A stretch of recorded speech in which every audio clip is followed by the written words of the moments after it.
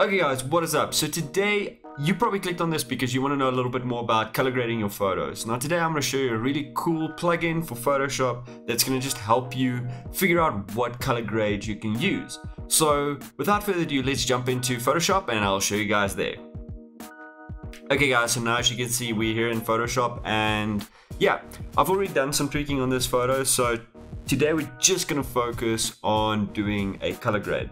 Now, as you can see in this photo, it's one of the many ones that I took on one of my previous videos, the Harley Davidson shoot. So for today, um, we're gonna just do some color grading. Now, I wanna show you guys a really, really cool tool.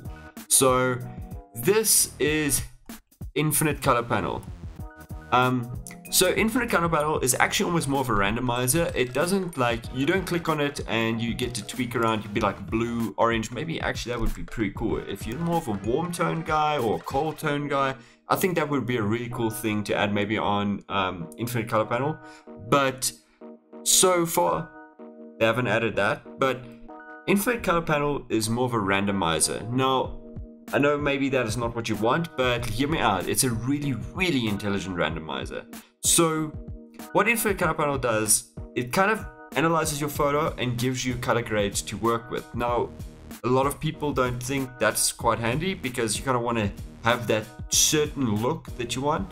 But I've made many, many color grades from this that started off this as a base. Now, Infinite Color Panel has a bunch of different things that you can utilize. It's got light, medium, intense, and harmonize. Now, light is a very light color grade. It's a very like a very subtle one. Now I'm gonna show all you like I'm gonna show all of these ones as they come, and I'm gonna show you guys. I'm gonna walk you through it. But light is a very very like very subtle color grade. Medium is more intense, and intense is very intense. So harmonize it just I don't really know what it does. Um, I don't generally use it because I because I don't use tools that I don't know what you can do with. But also, what is cool, you can switch off the different um, different things that they give you when you click on the create button. So you can switch off to take away curves, color balance, selective color, um, gradient map, and color lookup. Now, I have not done that because I don't feel as needed, but definitely I would say selective color, and gradient map is my favorite. So I'd probably be able to get away with just those because those are the ones that I generally use in my color grading. But let's get into it. I want to show you guys what light is. So if you click on create, which it will randomly choose for you, and boom, you have a color grade. Now you see it just popped up here at the bottom saying infinite color panel, uh, infinite color, and it gives you a bunch of different um, things and it kind of just gives you a complete random look. So this is more warm tone. Now let's kind of get into it. Press create again. think this one's more cool. Let's see what it did. Yeah, it's more of a cool one, a little bit of warmth, but yeah. Create again. That one's a bit too green. Like I said, it's a randomizer and it doesn't always nail it, but it does a really good job at it. And it also doesn't build up at all. So you always have these just this one panel. So if you press create again, boom, still the one panel. Pretty cool. So yeah, you can just kind of siphon through these and kind of grab some information and like some inspiration about what you want this photo to look like. Now I kind of like this, it really warms up the skin tones, gives a little bit of pink hue to it, really nice. So let me kind of show you guys what medium's like. Now create, but now as you see medium was much much harsher than um, light. So you can't unfortunately be like, oh, I like this color and then click on light and it will move it over to light. It doesn't do that. You might have to then just go there to infinite color and just maybe lower the um, opacity on it. But yeah, let's click it again. Let's see what it gives us. Very warm. So yeah, you can just keep on clicking create. Oh, that's very cool. Um, just gonna keep on clicking create and it will just keep on giving you more and more and more different colors to work with. Now, let's go to intense.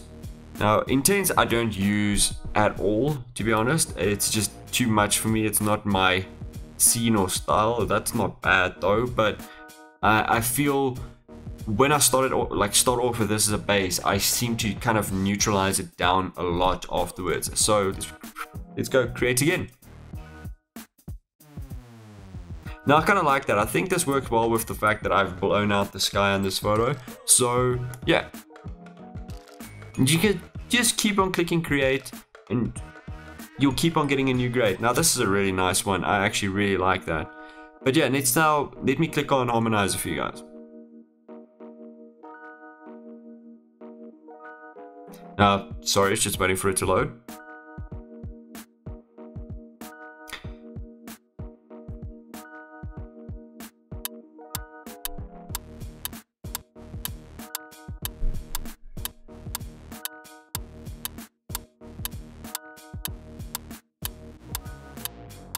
And there we go.